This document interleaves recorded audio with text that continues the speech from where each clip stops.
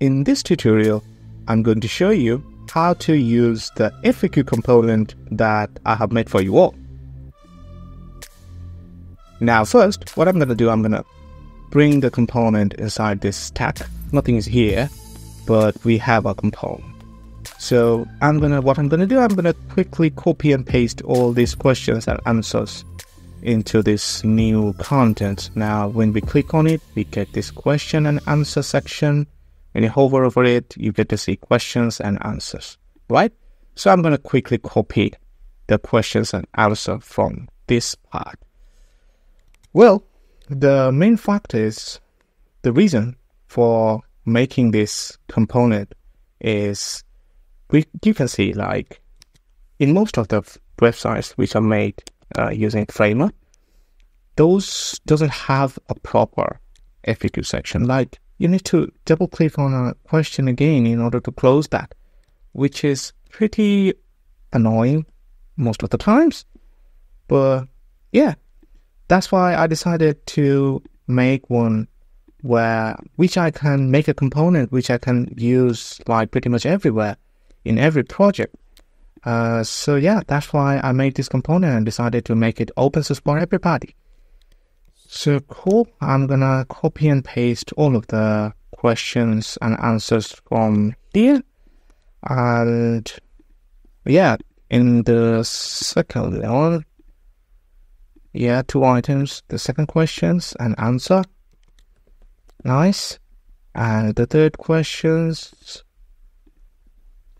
this one should go here with add here and then third question answer is gonna go here. Right. So we have the questions now. I can delete it.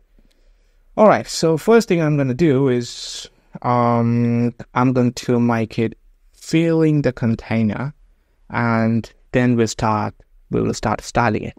So here we see the first option is the content that we have. Now. We can we drag and drop it to reorder it if we want. Doesn't matter in whichever way you want, you can make it. And then uh, we are going to style it directly by going to this style panel. So the first thing we can do here, we can select the font of the question. So I'm going to select Inter, semi-bold, and the answer font Inter medium. The question um, font size, I'm gonna go with 18 pixel, and here 16 pixel for the answer.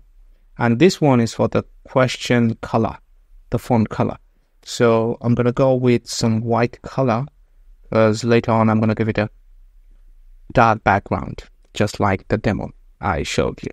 And the answer color, a little bit less white, like kind of gray color. And this one is the background of the question, you see? Background, question, background.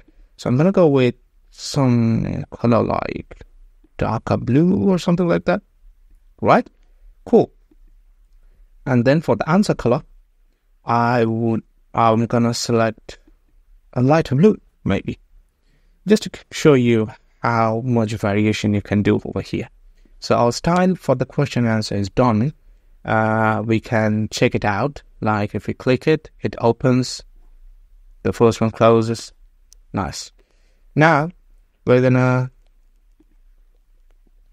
work with the transition. So I want to have 0.1 second and then a linear and damping 40 stiffness 400 that is perfectly fine. And that is what we want. Now let's go to the icon section. What we can do over here is we can upload the closed state icon, which is this, and also the open state icon. So I'm going to upload a white icon which I downloaded from the internet. So plus white, this one. And for the open state, a minus white icon, this one. Cool.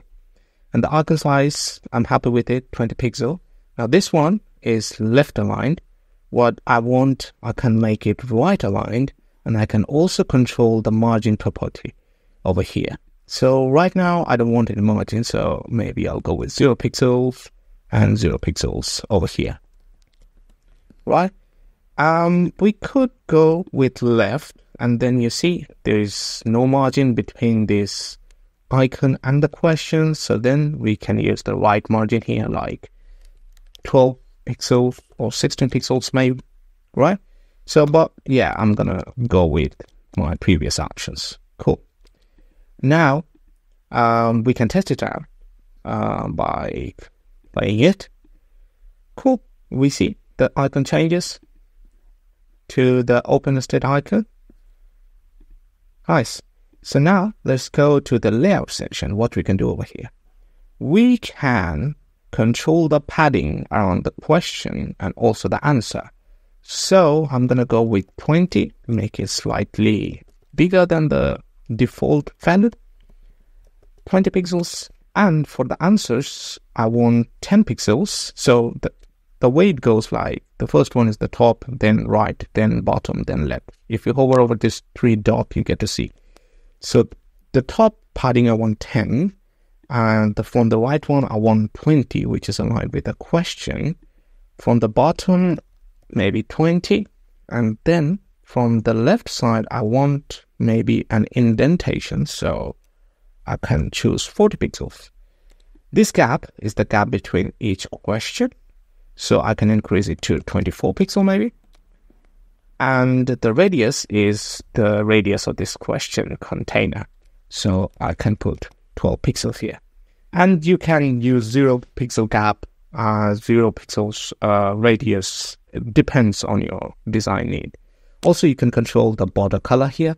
Uh, I'll go with the um, something darker, which goes with the background and one pixel border width. Now, if you don't want the border, just make it zero pixels and it will do the job. But um, I'm to go with the border.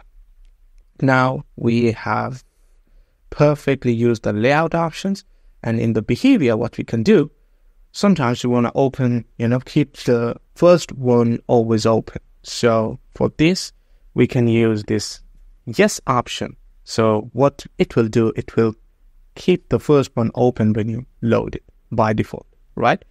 So yeah, this was basically it. Another bonus point, one thing you can do here is you can put inline HTML markup tags in your answer section because your answer might not be in one paragraph. It might need two paragraphs, three paragraphs. You can also include the bold text and other things. The way to do it is pretty simple. Just go to the answer section, and use some markup language like markup tags. You see in the second question we have markup ta- tags here. We are giving breaks here before the credit cards and then breaks here, breaks here, and also a bold uh, value here uh, for the bank transfers. So, you know, the purpose of showing this is that you can use any kind of inline HTML markup tags here. So yeah, this was it. Cool. Yeah, I hope you enjoyed this video. It was a quick one, uh, but I think it will be really useful for your project. I actually created it for my own purpose so that I can use it in any project I want in any page. Other than that, if I go with Framer's um, nested component structure, what if I, I would have, what if I had 10 questions, then I had to make 10 variants, uh, connect them all together, and then make interaction, then make 10 variants more for different screen sizes. So that's a hectic job. Maybe that's why designers don't do it. They just leave it like that. You click it and then you click it again to close it. That's why I didn't want it. Uh, I wanted some good interaction here, and here is it. So you have full access to the code component here. So you can go to edit code, you can tweak it in any way you want. So everything is here and this is a pretty simple code. If you have a basic knowledge of React, um, you can work with it. Even you can, if you have basic knowledge of HTML, CSS, you can work with it, like change the CSS property a little bit so that, you know, by default you get some good stuff. So yeah, this was it. Happy designing. I'll see you in the next one.